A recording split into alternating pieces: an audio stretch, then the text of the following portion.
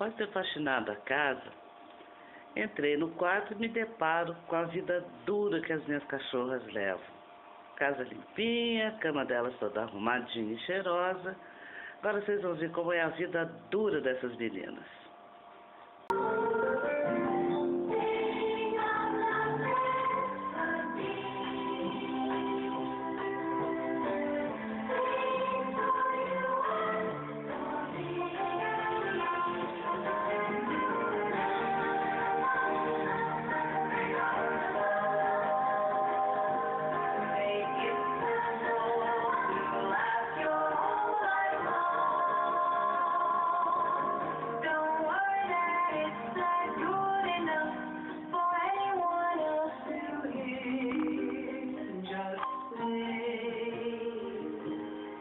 Minha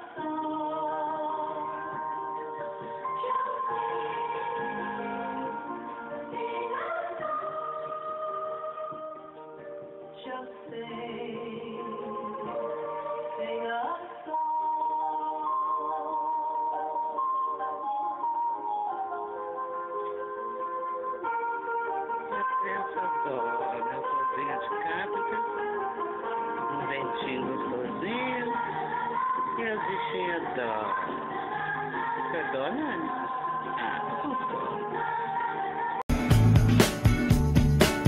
She's a lady.